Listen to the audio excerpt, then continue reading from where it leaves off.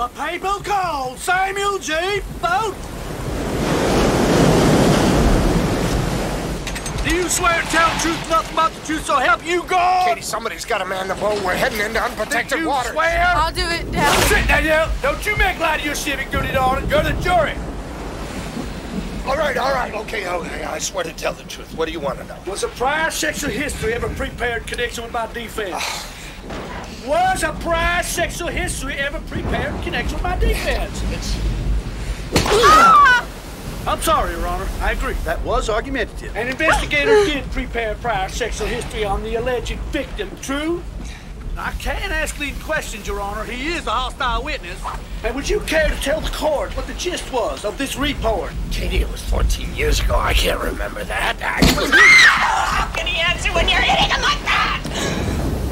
Perjured himself, Your Honor. He knows damn well exactly what it said. Don't you? It said uh, she was promiscuous. It said that she had three different lovers in one month. At least three! At least three! And did you show this report to the DA? No, no. No. I... I only discovered half the right to represent myself. Six years into my sentence, but there it was in the court file. But back in 77, you buried it, counselor. Would you care to tell the jury why? Would you care to tell the court why? Because I know he brutally raped her and he beat her. Talk to me! I'm staying here! Just because she was promiscuous didn't give you the right to rape her. And you bragged to me that you beat two prior aggravated rapes. You were a menace. You were my lawyer! You were my lawyer! That report would have saved me 14 years! You're probably right. You self-righteous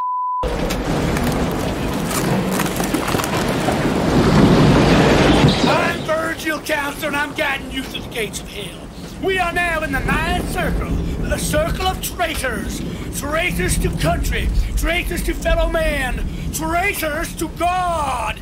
You, sir, are charged with betraying the principles of all three. Can you please quote for me the American Bar Association's Rules of Professional Conduct Canon 7? A lawyer should represent his client. So jealously represent his client within the bounds of the law. And I find you guilty, counselor. Guilty of betraying your fellow man. Guilty of betraying your country.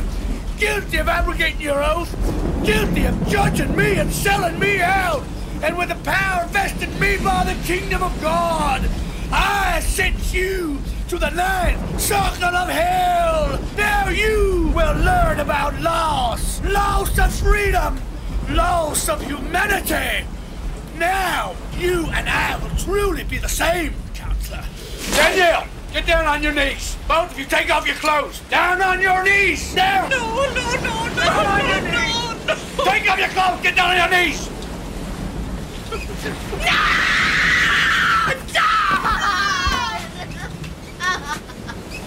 Now, take off your clothes. Off with your clothes. You ready? Ready? Take off your oh, clothes. Now! Now! Come on, get it! Get it! Get it! Tonight you're gonna learn to be an animal, to live like an animal, and to die like one.